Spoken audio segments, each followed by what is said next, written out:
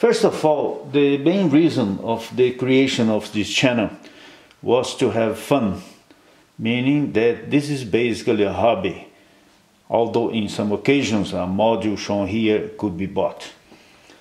The main focus is to show not so expensive ways of playing in the 300 MHz to 300 GHz range of frequencies, called generically here microwaves. If you are an experimenter, you certainly know that the tools and method used will depend on the range of frequencies you are experimenting on and also if they are analog or digital circuits. For lower frequencies, many times you just solder wires around in a spider fashion or use an FR4 printed circuit board for higher frequencies. In the microwave region, though, you just can't do that. Circuits normally must be confined in metallic enclosures. Impedance must be lower, normally 50 or 75 ohms, and the track's dimensions will depend on substrate used. In the case of the uh, FR4 substrate, if used carelessly, will certainly lead you to failure. When I decided to experiment in the microwave vision, I started to design and build some basic functional modules for my experiments. And all that started when I decided to extend the frequency range of my 18 GHz spectrum analyzer to 30 GHz using a front-end mixer. But soon I realized that they were like a microwave Lego and I could use them for more than one project. And here are some of them. This is my portable frequency counter. This is a low phase noise 100 megahertz reference disciplined by my rubidium time base.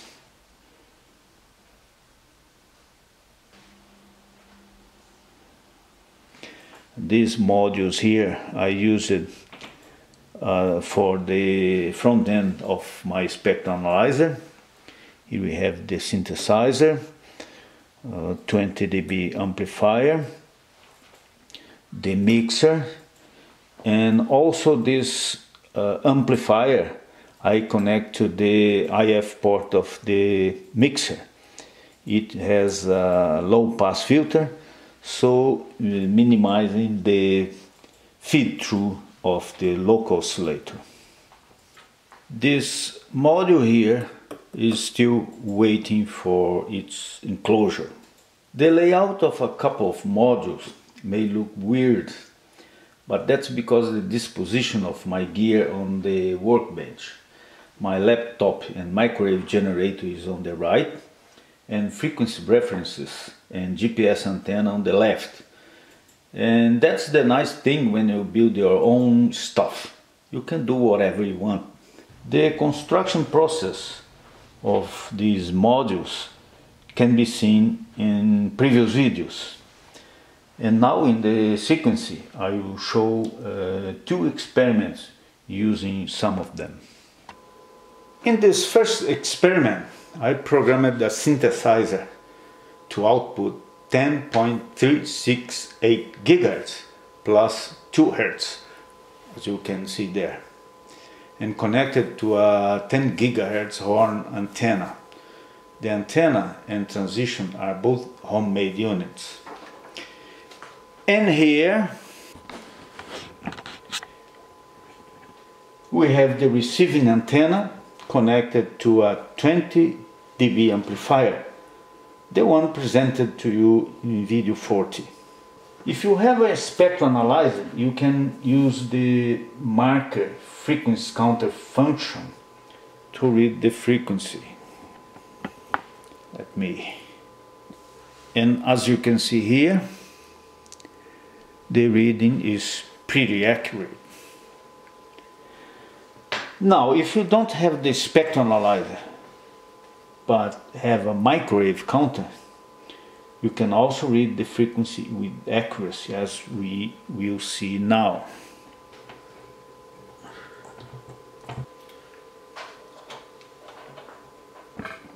Here we go. 10.368000002. Now, if you don't have the spectral analyzer and neither the microwave counter, you will still be able to measure the frequency with accuracy. Stay tuned to know how.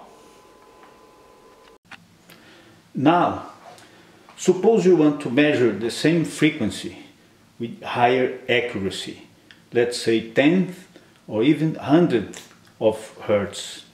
Remember that with the use of pre-scalers, normally 32, 64, 128, uh, etc. Some accuracy will be lost, which is not the case when you translate the frequency to be measured to a lower part of the spectrum.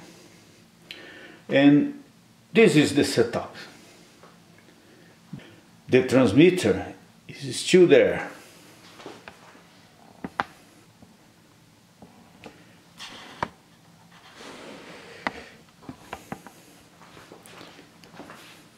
At the receiving horn, we have two 10 dB amplifiers. The output going to the RF port of the 10 to 30 gigahertz mixer. The local oscillator port is fed with plus 15 dBm coming from the 20 dB amplifier we saw in video 40. Let me position the camera. The input is connected to the synthesizer we saw in other videos, programmed with 10.328 gigahertz. At the IF port of the mixer, we have the 10 megahertz to 5 gigahertz 15 dB amplifier having at its output uh, a homemade 8 gigahertz low pass filter. And here is a picture of the internal elements.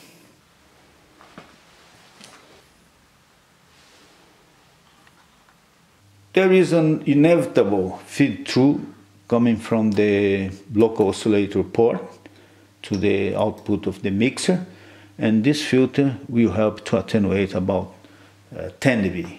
Now the frequency can be measured with my small counter showing up to units of hertz. We can even improve the accuracy to 0.1 hertz changing the get to 10 seconds. 40.000002 hertz. Remember that the frequency at the transmitter is 10.368 gigahertz added by 2 hertz. At the local oscillator here we have 10.328 gigahertz and the difference is 40 megahertz added by 2 hertz, which is being shown here. If you have a professional counter, the accuracy could be 0.01 hertz as we will see now.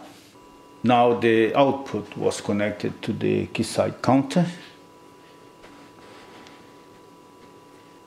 For this demonstration, the counters, the transmitter and local oscillator were locked to the same external time base. 10 MHz for the counters and 100 MHz for the synthesizers. That's all I had. Thanks for watching.